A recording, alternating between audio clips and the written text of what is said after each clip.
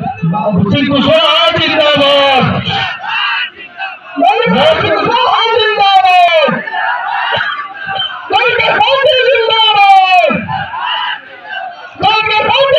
चल करके आए एमआईएम के प्रदेश सचिव भाई नोमान नदवी जी, हमारे प्रत्याशी शेखपुर के डॉक्टर राम रोशन राम जी, हमारे जखनिया की परगना मजिस्ट्रेट की, तहसीलदार की सेक्रेटरी की लेखपाल की जब भर्ती होती है तो फिर मुसलमान नज़र नहीं आता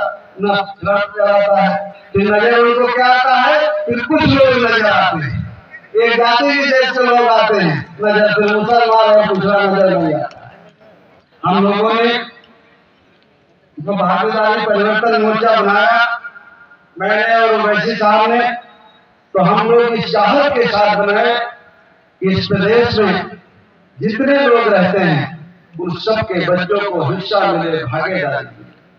अगर सिपाही दरोगा परगना मजिस्ट्रेट की जगह निकले तो अखिलेश यादव जी का आदमी ना हो आज सिवावा में किस किस तरह का कार्यक्रम था, था? चुनावी सभा थी हम लोग अपील करने के लिए आए थे भागीदारी परिवर्तन मोर्चा के जो हमारे प्रत्याशी हैं से डॉक्टर राम लोचन राम जी और जखनिया से राम बच्चन राम जी दोनों का चुनाव निशान गैस का सिलेंडर है।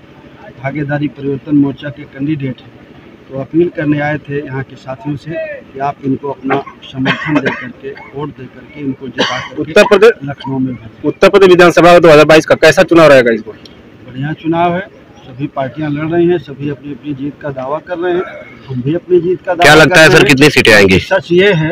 कि जिसको लोग आशीर्वाद देंगे वो जीत के जाएगा जिसको लोग आशीर्वाद नहीं देंगे वो नहीं क्या लगता है सर कितनी सीटें आएँगी?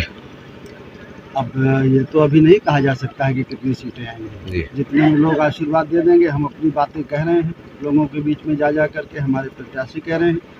लोगों को जितनी बात हमारी समझ में आएगी लोग हमें आशीर्वाद देंगे। कुशवाहा जी दो दिन पहले सपा नेता जावेद आ- आबदी जी आए थे उन्होंने बोला कि ओवैसी को कुछ मिलने वाला नहीं है प्रदेश से। क्या कहेंगे? देखिए ये तो 10 तारीख को पता चलेगा कि समाजवादी पार्टी तो 400 जीत रही है और बीजेपी 300 पार कह रही है और चार तीन सात सौ होते हैं, सीट तो 403 ही है। तो दोनों लोग मिल करके चार सात सौ तीन जीत रहे हैं।